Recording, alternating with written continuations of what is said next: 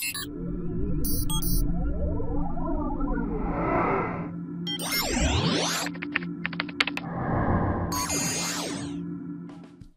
day and welcome to our explanation of how to export data from one WordPress site and import it into another without losing anything.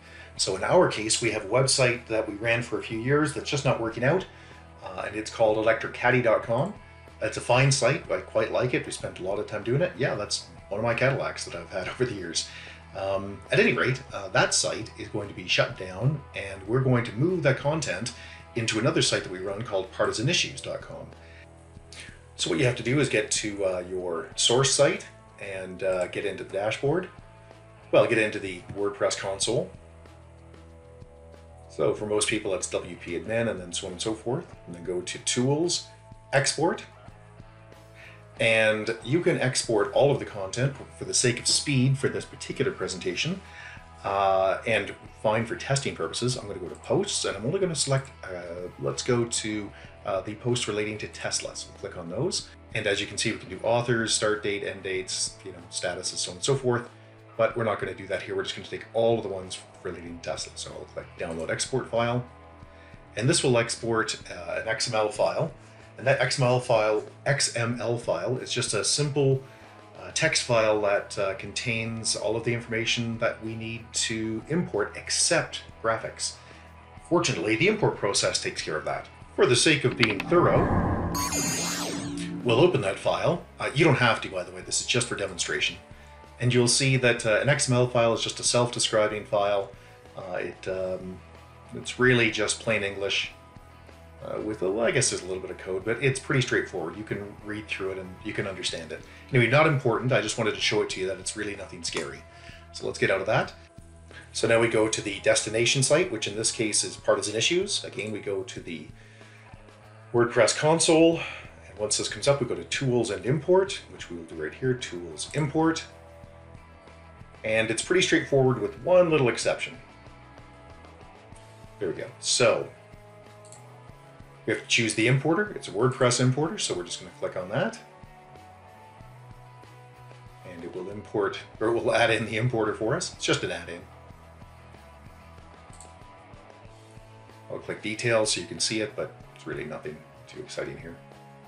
It's direct from WordPress. There we go. So let's select Run Importer.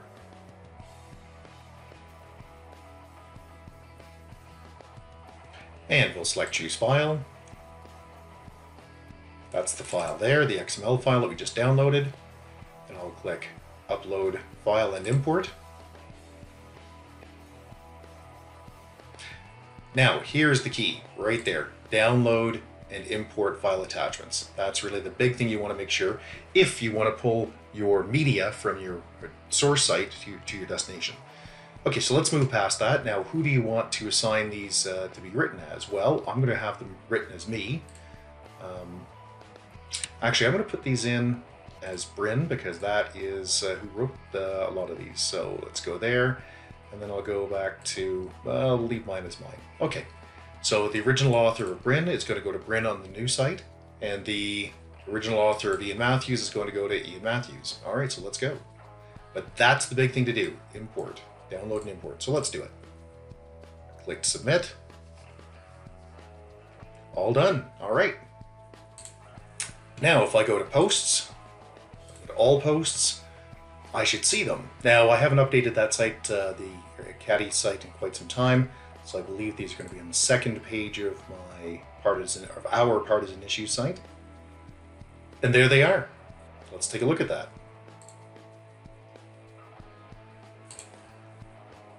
There they are. Now let's go to just take a look at the uh, take a look at the post. See, my graphics did not come through. They did. Oh, yay. And let's see where they're hosted. Okay, those are still hosted on electricaddy.com. I can see at the bottom here. That's disappointing. I'll have to end up uh, moving those graphics manually. Well, it's still a giant improvement over what I thought would happen, uh, as the Electric Electricaddy site will be up. Now, the other thing I need to do is I need to go fix the categories.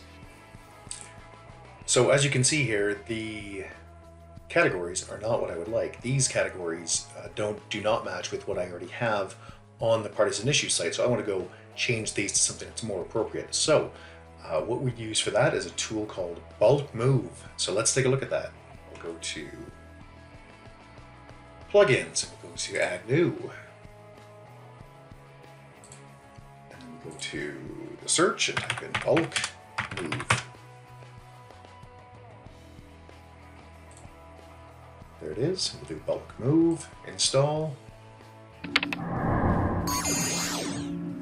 And activate, of course.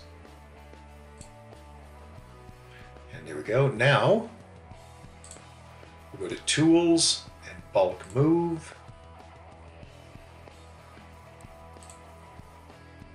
And here they are. Here are the categories. So I want to set, let's see here, let's do Electric Cadillac News.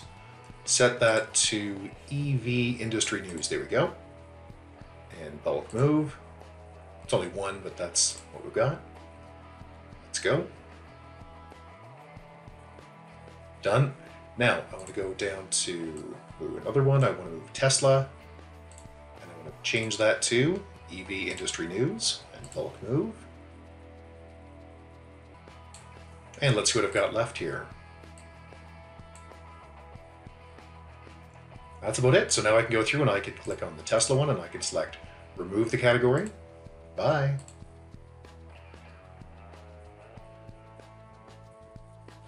And I can go to electric Cadillac news and remove category.